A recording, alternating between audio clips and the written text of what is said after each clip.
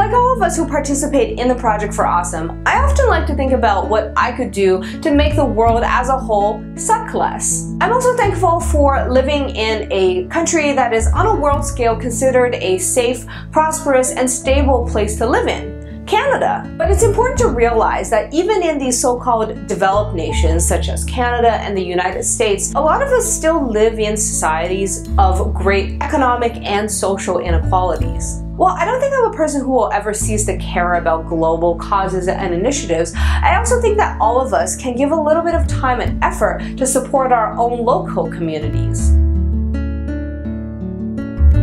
According to Statistics Canada, up to 3.3 million households in this country live in unaffordable or substandard housing. Here in Toronto, where I live, there are over 100,000 people on the affordable housing waitlist, and the number keeps growing every single year. And poverty among Canadians often disproportionately affect the most vulnerable groups, such as Aboriginal Canadians, racial minorities, and children. And that's why for this year's Project for Awesome, I'm supporting Habitat for Humanity Which is an international organization that aims to break the cycle of poverty through access to affordable homeownership. It has about 70 chapters all around the world with over 1,400 local affiliates in just the United States alone. So wherever you are in the world, there's likely a local affiliate somewhere near you to support, donate to, and volunteer your time to. Here in my local affiliate, Habitat for Humanity of the Greater Toronto Area, the program enables qualifying low-income families themselves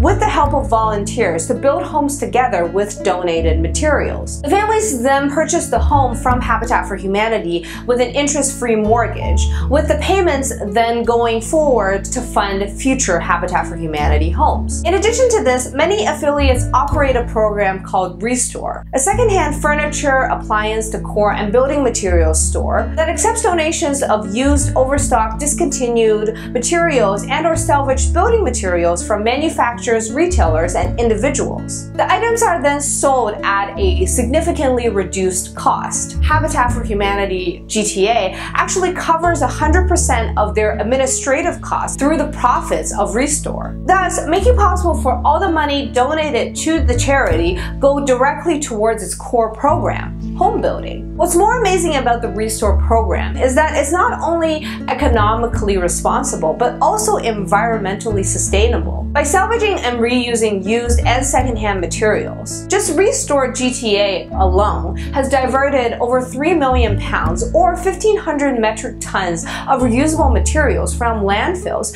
just in one year alone. And the materials that are donated to as well as purchased from Restores are generally by local contractors, builders, retailers, and other homeowners, making it possible for pretty much anyone in the local community to contribute to the organization. Whether it's through donations, volunteering in construction, volunteering in salvaging and reusing materials, donating a piece of gently used furniture, or even purchasing a piece of furniture from a restore. All of us can in some way contribute to this great cause. Overall, I believe Habitat for Humanity creates an amazing cycle of community involvement, sustainable practices, and economic empowerment. And that's why it should definitely deserve your vote for this year's Project for Awesome. And I encourage you to please also consider contributing directly to the organization, such as volunteering for your local Habitat for Humanity affiliate. Thanks for watching, and don't forget to be awesome.